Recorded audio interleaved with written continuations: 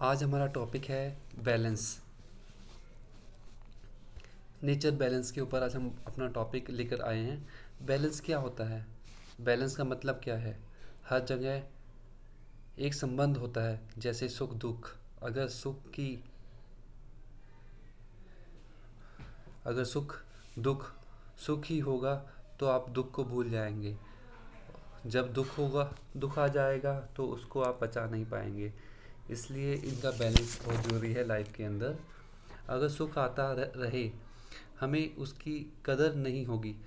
जब थोड़ा सा दुख आया तो उसके बाद सुख की भी कदर पता चलेगी। हमारे जीवन में कई ऐसी चीज़ें हैं, जिन्हें बैलेंस के साथ चलाना पड़ता है। चाहे वह सुख, दुख हो उतार चढ़ाव हो हँसी गम हो। तो फाइनली हम यही बताना चाहते हैं आपको लाइफ में, सुख, दुख अच्छा बुरा, ऊँचा, नीचा, गरीब, चट्टान, पहाड़, चट्टान, खाई, ये सारी आपस में मिली जुली हैं। जैसे भगवान किसी इंटेलिजेंट आदमी का निर्माण करता है तो उसके इंटेलिजेंट के साथ साथ वो बेवकूफ़ मतलब कम दिमाग वालों का भी निर्माण करता है, ताकि नेचर में बैलेंस बना रहे। कोई ज़्यादा अमीर है तो उसके अकॉर्डिंगली लोग उतने गरीब भी होंगे। तो भगवान श्री कृष्ण ने गीता के अंदर भी ये बताया है कि यदि कोई दुखी है तो उसके अकॉर्डिंग जितना लोग दुखी हैं, उसके अकॉर्डिंग लोग खुशी भी हैं। मतलब नेचर ने अपना बैलेंस बनाया हुआ है हर चीज़ के अंदर। तो लास्ट से कहता है कि लाइफ में हमेशा हमें आपको ना अपना बैलेंस बनाना पड़ता है। लाइफ लाइफ में हम बैलेंस कैसे बना सकते हैं? तो उसने एक टेक्निक भी बताई जिसका नाम है बैलेंस मेडिटेशन बैलेंस मेडिटेशन में क्या होता है कि अपने शरीर को एज ए, तराजू की तरह ट्रीट करना होता है, जैसे तराजू के दो पर्दे होते हैं राइट और लेफ़्ट वैसे दो हमारे हाथ या के हृदय होते हैं राइट लेफ़्ट की तरफ़ मतलब जैसे राइट हैंड और लेफ़्ट हैंड को हम ले सकते हैं। जैसे हम सांस ले रहे हैं, सांस दोनों हाँ दोनों साइड दोनों इक्वल लेनी है, शरीर के दोनों साइड तो जैसे ही आप सोचने लगोगे तो वो सांस है, वो डिसबैलेंस हो जाएगी। किसी ने दरवाज़ा खोल दिया, वो डिसबैलेंस हो जाएगी। तो वो कहता है कि बैलेंस हम कैसे बना सकते हैं? वो कहता है कि यदि बैलेंस लाइफ में जब भी आ सकता है जब आपके पास ताव है। ताव मतलब कि आप खुद एक पेरेंट के अंदर हो।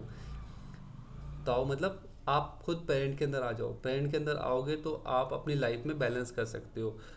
कि आप न, जैसे एक सिक्के के दो पहलू होते हैं। एक हेड है एक टेल है।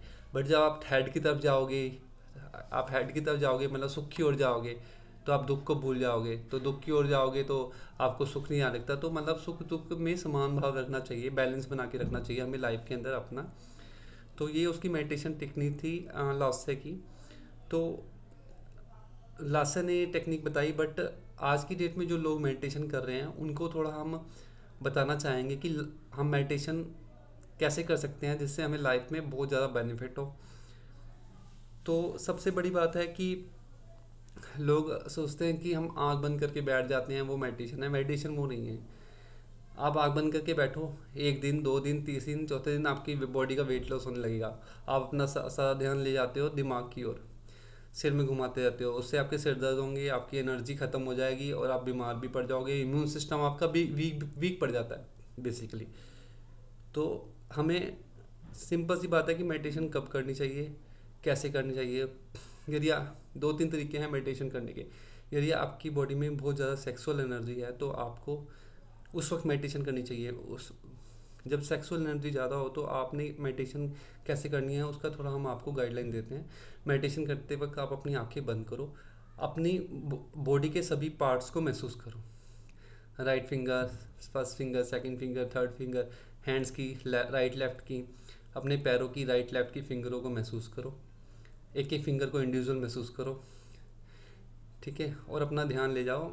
अपना मत्थे की तरफ़ ले जाओ सारा ध्यान। मत्थे के के बीच में नोज़ के ऊपर ले जाओ सारा ध्यान। इससे क्या होगा? आपकी जो बॉडी की सेक्सुअल एनर्जी है वो जो आपका ध्यान भटक रहा है इधर उधर सेक्सुअल एनर्जी के कारण, जो एनर्जी बहुत ज़्यादा की स्टेज में हो तो आप यानी मेडिटेशन करो। इससे आपकी बॉडी की जो सेक्सुअल एनर्जी है वो आपका आज्ञा चक्र ले लेगा। आज्ञा चक्र बहुत ज़्यादा स्ट्रांग हो जाएगा। तो आप मतलब आपके आप मतलब दिमाग आपकी बात मानेगा, सबसे बड़ी बात है, आज्ञा चक्र से मतलब आप किसी को भी कुछ बोलोगे ना, आज्ञा चक्र आज्ञा चक्र एक एनर्जी फेंकेगा सामने वाले के ऊपर, जिससे वो आपकी बात मानने लग जाएगा। तो अपनी, जो ये, जो एनर्जी है, वो हफ़्ते में एक दो बार आपके पास आती है, जो सेक्सुअल एनर्जी है तो बट लोग इसको मिसयूज़ कर लेते हैं तो वो मिसयूज़ हमें नहीं करना चाहिए। उस वक्त आपको मेडिटेशन करनी है। मेडिटेशन का तरीका हमने बता दिया कि सारा ध्यान अपने मत्थे के बीच में ले जाओ और कुछ सोचो मत। इससे क्या होगा, जो आपकी सेक्सुअल एनर्जी है, वो आपका आगे तक कंज्यूम कर लेगा और आप में और पावरफुल कर देगा आपको। यदि यही टेक्निक आप रोज़ करो तो आपका, उससे उल्टे इफ़ेक्ट होंगे। आपका वेट लॉस होने लग जाएगा इम्यून सिस्टम वीक हो जाएगा। तो ये मेडिटेशन आपने दोबारा रोज़ नहीं करनी है। ठीक है, ये सीक्रेट मेडिटेशन है। बैलेंस टेक्निक बैलेंस मेडिटेशन हमने लॉस की आपको बताई है। वो तो बहुत ज़्यादा पेरेंट में आप आ जाओ। तब है बट आप प्रेजेंट में नहीं हो तो आप अपनी सेक्सुअल एनर्जी को कैसे यूटिलाइज करना है, वो आपको टेक्निक हमने बता दी है। तो तो अब एक और मेडिटेशन है जो आप रोज़ कर सकते हो। अपना सारा ध्यान अपने नाभिका के ऊपर ले जाओ और कुछ मत सोचो। आराम से बैठो, गर्दन सीधी रखो। नाभि के ऊपर लेके जाओगे तो क्या होगा कि जो नाभि है, वो आपकी एनर्जी कंज्यूम नहीं करेगी बट आपको शांत कर देगी। आपका इम्यून सिस्टम भी वीक नहीं होगा कुछ नहीं होगा। यदि आपने रोज़ मेडिटेशन करनी है यदि आपने हफ़्ते में एक बार करनी है तो आप ये लिमिटेशन यूज़ कर सकते हो कि जब आप सेक्सुअली बहुत ज़्यादा हाई हो लेवल पीक लेवल पे हो तो आप ये एनर्जी कर सकते हो। तो आपकी सेक्सुअल एनर्जी आपका ध्यान इधर उधर ना भटक के आपका जो सारा सेक्सुअल एनर्जी है वो आपके दिमाग की ओर चल जाएगी और दिमाग ज़्यादा स्ट्रांग हो जाएगा। तो ये जो टेक्निक्स हैं ये आ, हम आपको बाय एक्सपीरियंस बता रहे हैं। कोई ऐसा नहीं है कि बुक से पढ़ के बता रहे हैं। तो इसमें हमने तीन टेक्निक आपको बताई है। एक तो बैलेंस मेडिटेशन जो लास्ट से की है, जो बहुत पैंड में आ जाएगा बंदा राइट लेफ़्ट वाली आपको बताई है।